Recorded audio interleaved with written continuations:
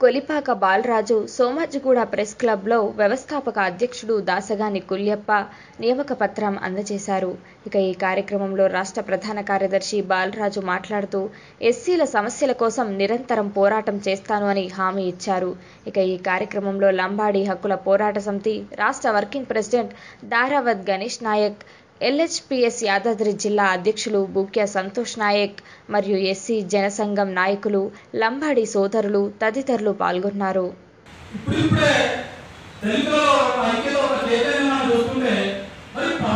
ఇంకా ఈ విధంగా ఎందుకు